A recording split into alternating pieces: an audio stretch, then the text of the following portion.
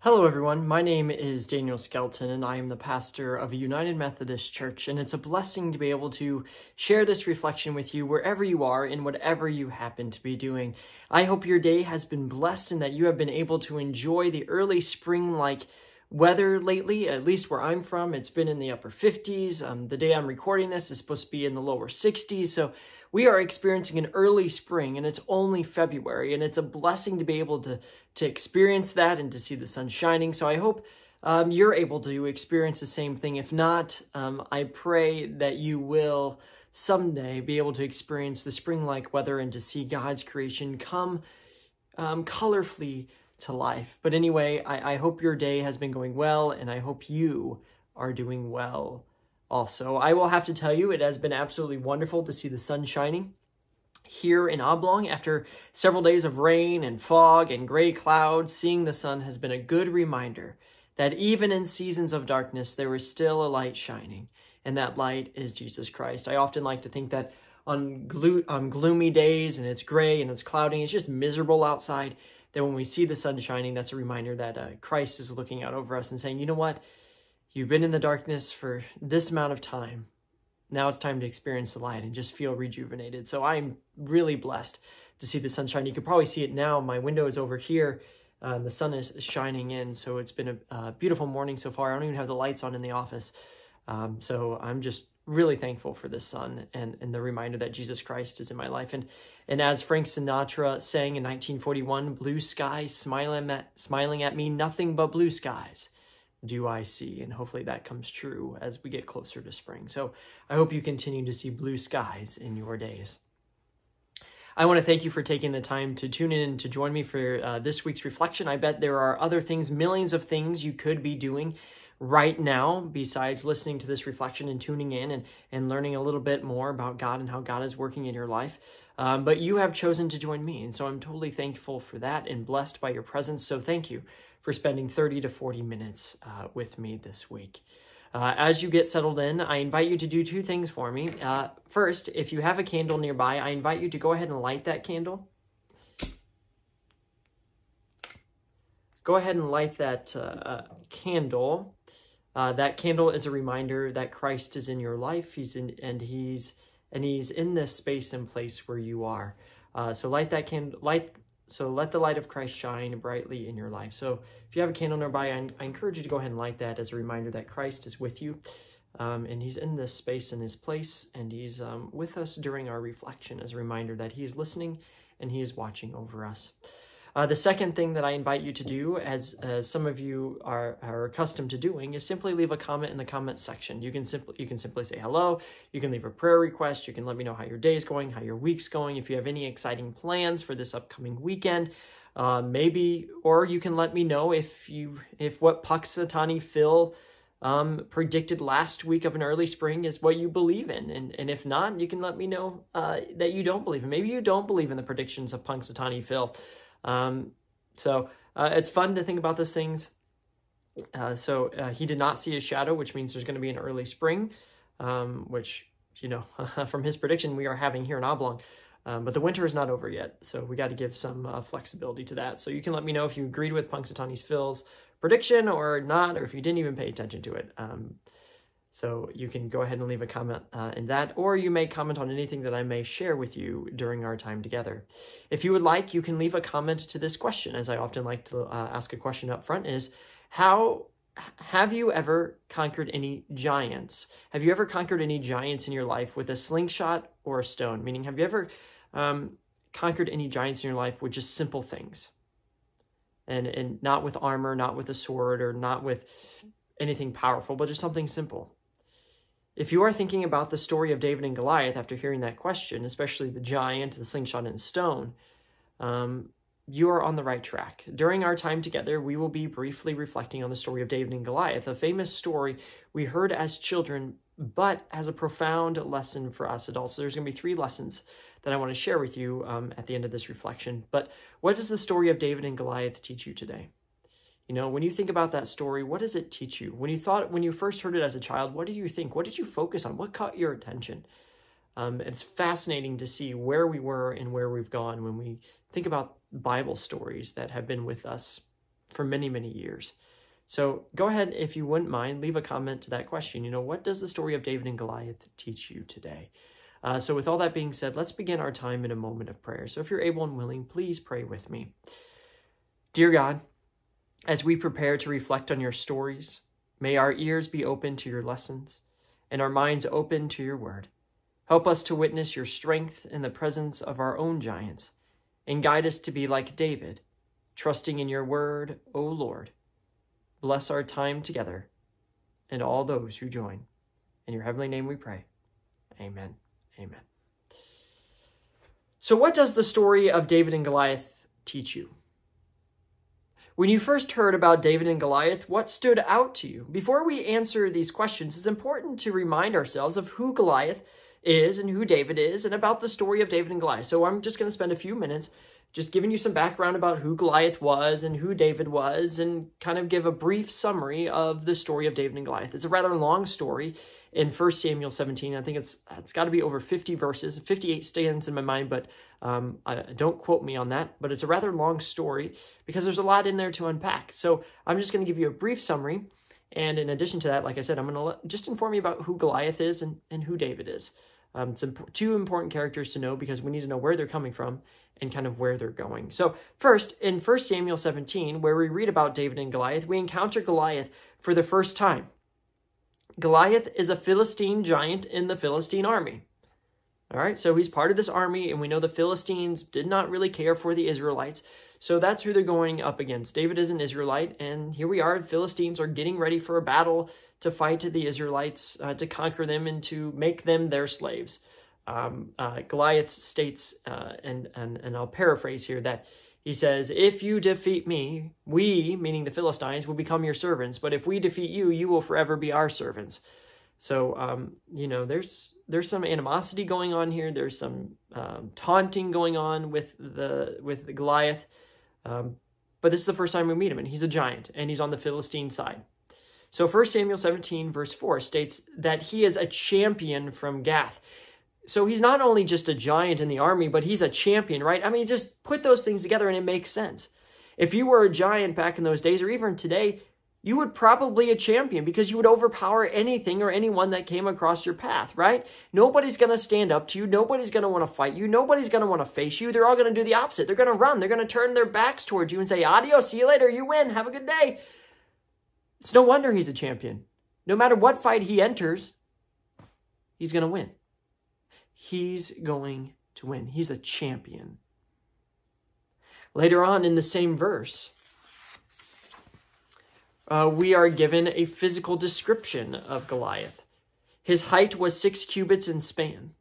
When we studied the story of Noah and the ark a few weeks ago, we learned that a cubit is from the bottom of your elbow, the bottom of your elbow, to the tip of your tallest finger. That's a cubit. And we know this varies from person to person. So, you know, if they were building any projects, they wanted the same person there every day so that that same person had the same measuring length. They didn't want to call on call on uh, um, um, Job one day and then say, you know, and Job calls in sick and says, oh, we're going to call on Adam the next day and have him finish the project. No, because their lengths could uh, differ and that could throw off the whole project. So a cubit is from the bottom of your elbow to the tip of your tallest finger. And, and Goliath was six cubits in span. The average cubit length during David's time was 19.5 to 21.5 inches. Right? Which could vary here. So most scholars say that Goliath is anywhere from 9 to 10 feet tall. 9 to 10 feet tall. This, this is a giant, right? This is a giant. 9 to 10 feet tall. To give you a reference, NBA basketball hoops are located 10 feet off the ground. And a typical one-story home is 12 to 13 feet tall. So Goliath, so Goliath could can touch the rim with both feet on the ground. I mean, all he had to do was just reach over and dunk it. He didn't even have to jump. He didn't have to run to build up momentum to jump. He could just stand there and dunk it in. So he could stand on the on on two feet on the ground and his head would reach the rim of the basketball hoop. And he can and he can reach as high as a one-story house. He's already 9 to 10 feet tall, and just imagine how high he could reach. He's reaching taller than a one-story building. He's a big guy. This is a, this is a giant. So so you know, if we think about this furthermore, he he's not only tall, but he's probably built. He's he's buff, he's muscular. He wore a coat of chainmail of bronze weighing 5,000 shekels or 125 pounds. Goliath was certainly a strong giant. And when I think of 125 pounds, you know, there are some people out there that that's no problem for them. 125 pounds, that's nothing. They can put something on that's 125 pounds and, and go the whole day with no problem. They can lift 125 pounds, no problem. But there's others of us that say 125 pounds, that's crazy. That's crazy. That's heavy. You know, when I was in marching band in high school, uh, I, I marched drumline, and so I carried a bass drum that had a harness, and then attached to that was a bass drum. And then I, I played snare for two years and had a harness and the snare. And then I, I, I played tenors uh, for my last year in high school. And, you know, those things have weight. You know, uh, from the bass drum to the tenor drums, and tenor drums had multiple drums and then You were looking at anywhere from, you know, uh, 30 to possibly 45 pounds that I'm carrying on my body. You know, during rehearsals, that's a long time. You know, we had what were called three a days, and then that was, you know, three hours in the morning, an hour for lunch, three hours in the afternoon, an hour for dinner, and three hours in the evening. So in a span, you know, I could be carrying that drum. You know, that's nine hours, maybe, probably, maybe six, six, seven, six to seven hours of those nine hours, I was carrying that drum around right? That's heavy. That's a lot of weight to, to carry. And, and Goliath was carrying 125 pounds, no problem. So he is tall and he is strong. Lastly, did you know Goliath had a brother? In 1 Chronicles chapter 20, verse 5, and 2 Samuel verse, uh, chapter 21, verse 19, we read, In another battle with the Philistines, Elihana, son of Jar, killed Lahami, the brother of Goliath. Lahami is the brother of Goliath the Gittite, who had a spear and a shaft like a weaver's rod. In First Chronicles chapter 20, verse 6, we read about a huge man with six fingers on each hand. But we are unclear if this huge man is a relative of Goliath. If he is, then Goliath has a descendant of Rapha in First Chronicles chapter 20, verse 8. So you never really thought about, I've never really thought about, you know, or even asked the question, does Goliath have siblings? Are there more giants during this time? And apparently there were. How many? I don't know. I, I there, there's at least one that's been named. There could be two that's that's a huge man and has six fingers on each hand. So there's at least one other giant besides Goliath that was floating around during this time. But there's a little bit about Goliath. He's tall, he's strong, he's got some siblings. Now, what about David? Who is David? David was from the tribe of Judah, which included the town of Jerusalem. David was Ruth and Boaz's great grandson and, and the son of Jesse. David was the youngest of seven brothers, which means he was not in a privileged position according to the lineage authority during this time period. Mostly the older the oldest son had the most authority. That's the one that's going to carry on the name, carry on the legacy of their father.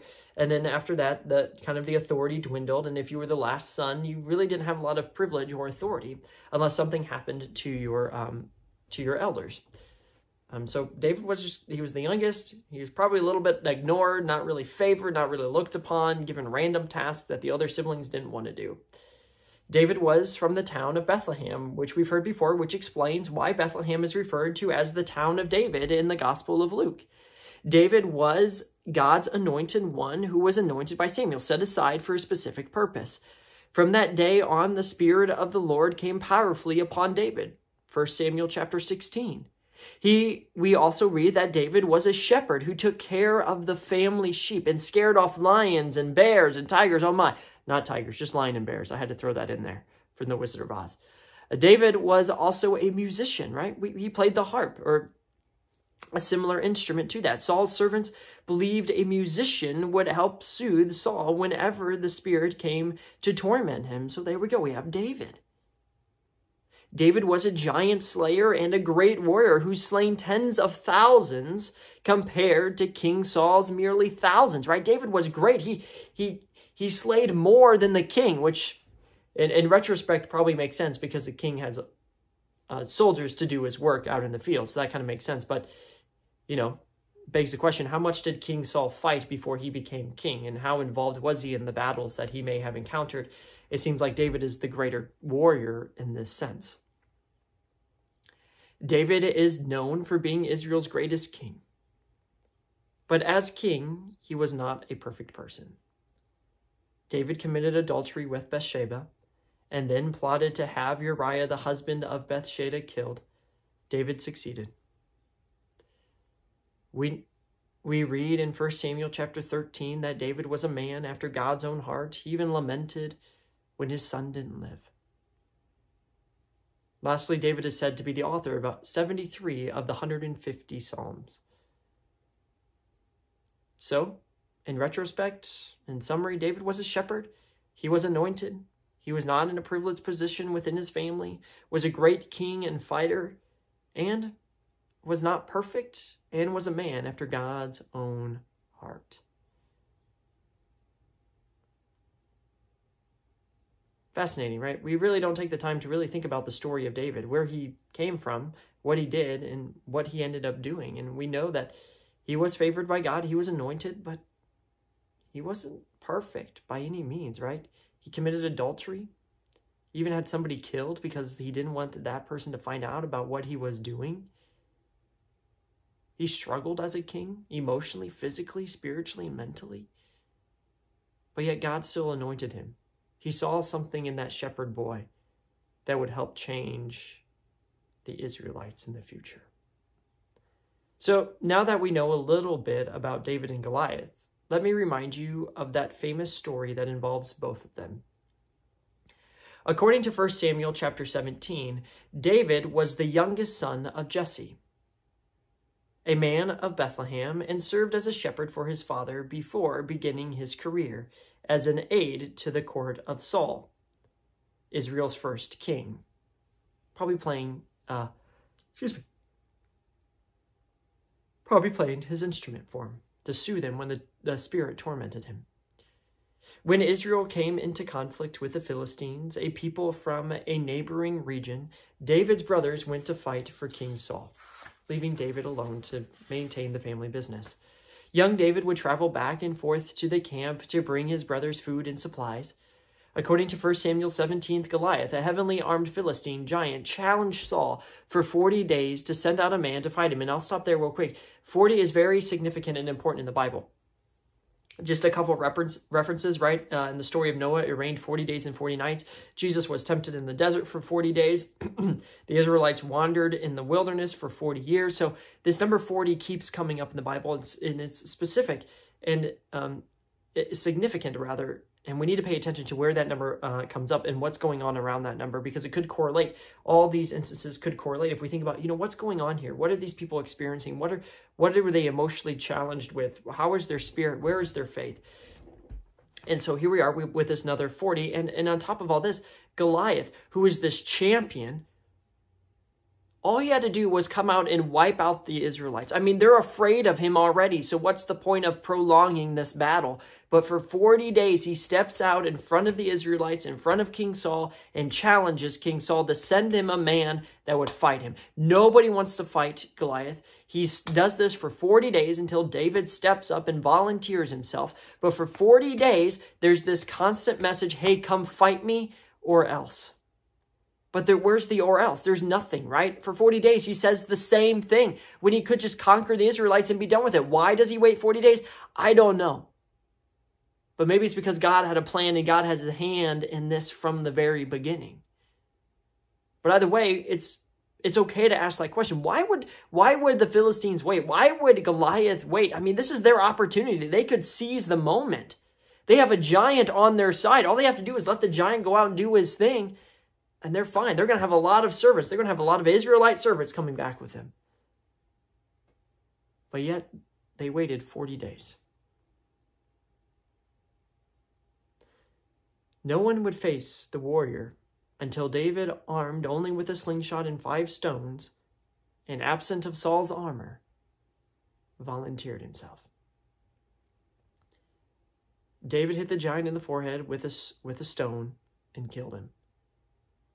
David was victorious because of his faith and trust in God. Now, the story continues to go on, and we learn there's some gruesome things that happen after David kills the giant.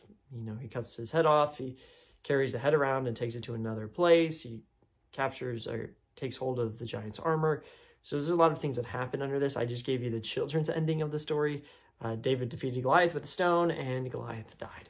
Um, but that's kind of a brief summary of the story, and it's a good reminder for us to think about as now we go into thinking about what we may have paid attention to as a child when we first heard the story and how the story has changed um, for us today.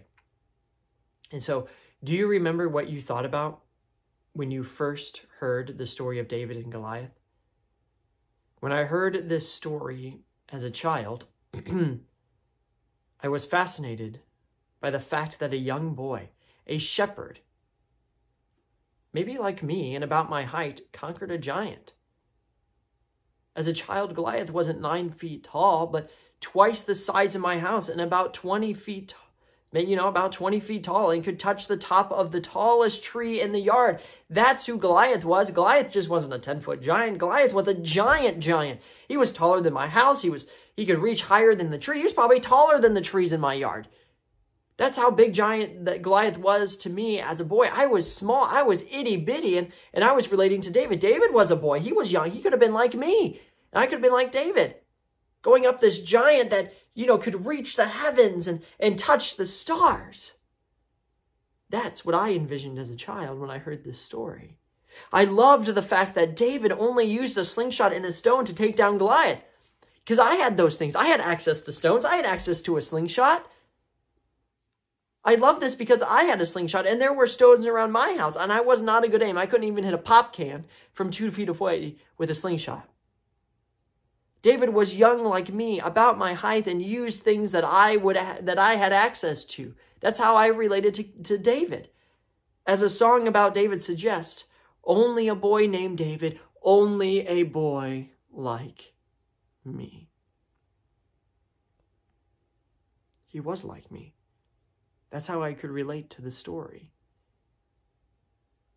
As a child, I learned that the story of David and Goliath is a story about having faith in God in trusting God and listening to what God is calling us to do.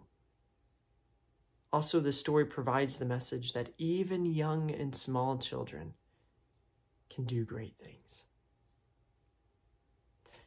As much as these messages still are still true today, there are at least three other messages I would like to share with you now, and there's many more. There's more than three messages we can take away from the story of David and Goliath um, there's more because it relates to our life in different phases of our life. We could read it today and get something out of it. We could read it tomorrow and get something new. We could read the same story for a solid month and get something new out of it every day we read that story. That's how powerful the Word of God is because it's always working in our life. As Hebrews chapter 4, verse 12 reminds us, the Word of God is alive and active. It's alive and active because it challenges us every day. It, it invites us to be involved in the story. It encourages us to really take note of those words and to relate those words back to our own life. So here are three lessons that kind of sit with me every time I read this story. And here's the first one. First, so the story of David and Goliath teaches us about faith, trust, and listening to God's voice. In order to overcome trials and tribulations and setbacks, or when we backslide, according to use to to use the terminology of John Wesley, we have to have faith. We have to have faith. We have to have faith strong enough to help us face whatever life throws at us, even when others don't believe in us. So we have to have faith. David had faith. He volunteered himself to go up the, against this giant with no armor, just a slingshot and a stone. He had faith. And because of that faith, he did the impossible. He defeated that giant. He defeated an entire army with one stone and one slingshot. In addition to faith, we need to have trusting in the Lord, right? Proverbs chapter 3, verse 5. Trust in the Lord with all your heart and mind, right? Trust in the Lord and not on your own understanding.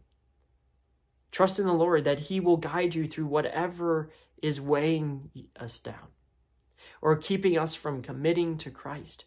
With trust, we give everything to God, right? We give everything to God. We should give everything to God, knowing that He will help us to see the light at the end of the tunnel. Lastly, when we have faith, not only in God, but also ourselves, and we trust God with all our heart, mind, and soul, we begin to open ourselves up to the voice of God and God's directions and plans. David had faith.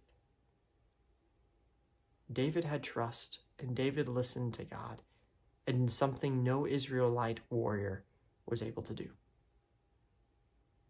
defeat Goliath. Now, listening to God is very hard. I want to go back on this just for a moment um, because it is tough to listen to God all the time. There are other voices telling us what to do, what we should do. There are voices that are putting us down, telling us we're not doing a good job. There are voices that all they want to do is just bring us down, tear us down piece by piece. Sometimes it's the voices within ourselves that are the ones that are putting us down.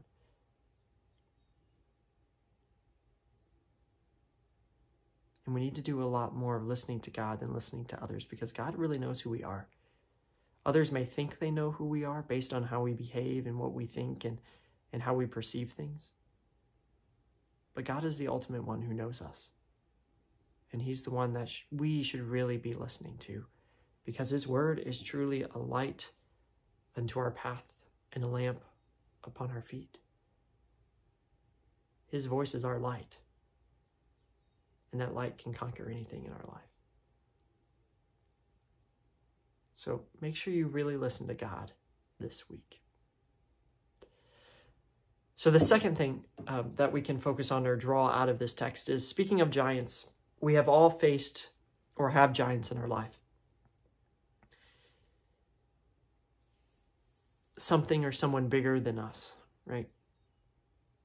Like the lions and dens found in the story of Daniel, these giants sometimes battles, sometimes struggles, sometimes contemplations, or sometimes lingering disagreements have a way to push us away from Christ.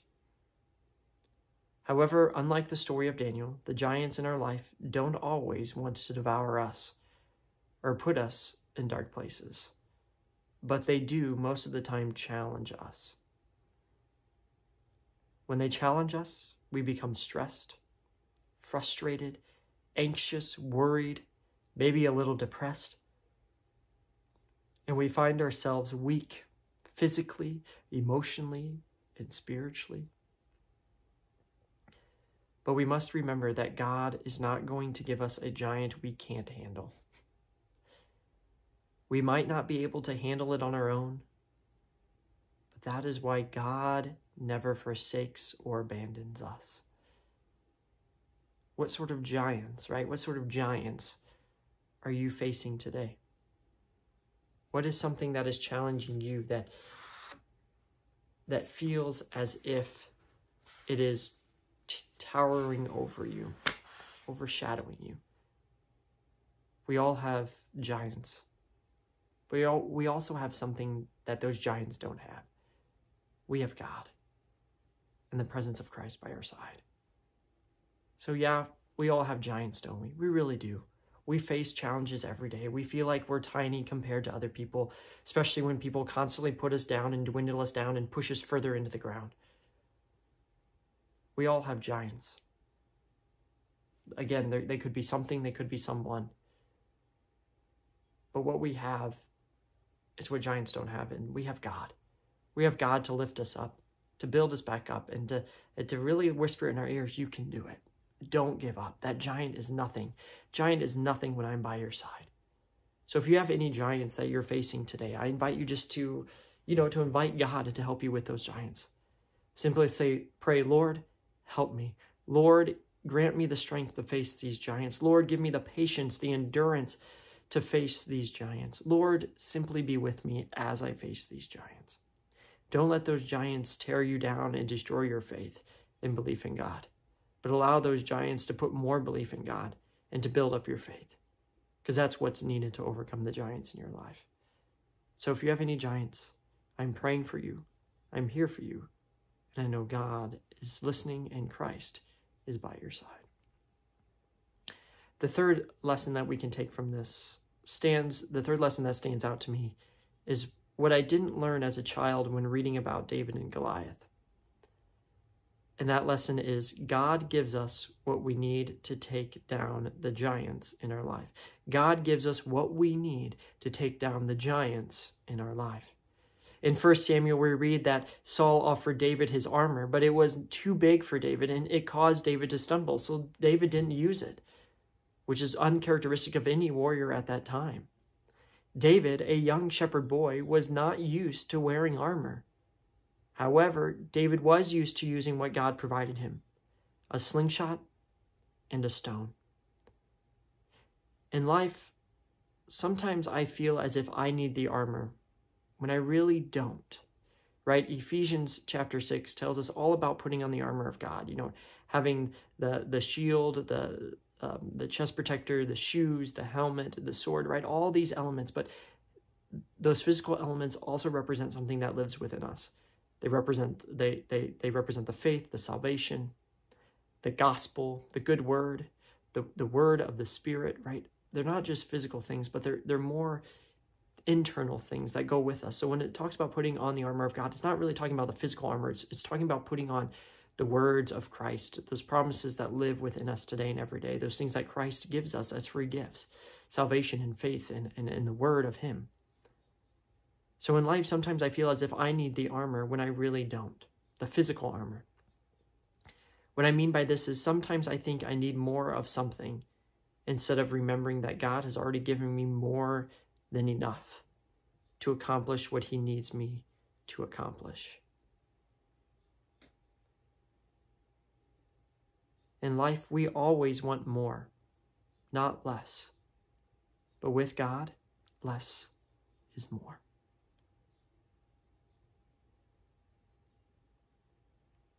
David had all that he needed to defeat Goliath a slingshot, a stone, and God. Consider the fact that David grabbed five stones. Remember that? David grabbed a slingshot and five stones. He didn't grab one stone. He grabbed five stones from the wadi. Five stones. But he only used one to bring down the giant. Even David, without the armor, had more than enough. He had more than enough to defeat Goliath. He could have picked up one stone instead of five, and that would have been just fine. It will be tough not to want more. But when it comes to God, God has given you more than enough to do what He is calling you to do. It's hard sometimes to think that way. It's hard to just let that sink in, but it's true. It is true. God has given you more than enough to do what He has called you to do, even to fight those giants in your life. Sometimes when we pick up five stones, all, all we need is one stone. That one stone will make the difference we've been seeking. The story of David and Goliath is certainly a story for the ages, absolutely. It reminds us of what faith and trust can do when we face giants in our life. It reminds us that we that we do have giants in our life. It's sad, but it's true. The story reminds us that we are facing giants. And it teaches us that with God in our life, we have what is needed to overcome the giants before us. What does the story of David and Goliath teach you? What stands out to you in this story? Who are you in the story of David and Goliath? Are you David? Are you King Saul? Are you Jesse, David's father? Are you David's brothers who are constantly putting other, maybe putting others down? Are you part of the Israelite army who is confused and scared of the giants before you and, and wondering, how is this little boy going to save us? Maybe you're a giant. Maybe you're a giant to someone. Maybe your words have constantly been putting someone down instead of lifting them up. So, what does the story of David and Goliath teach you? Who are you in the story? And what is God trying to teach you? With that in mind, let's close our time together in a moment of prayer. So, please pray with me. Dear Heavenly Father, we thank you first and foremost for the light in our world, for the light in our life, which is your Son, our Lord and Savior Jesus Christ.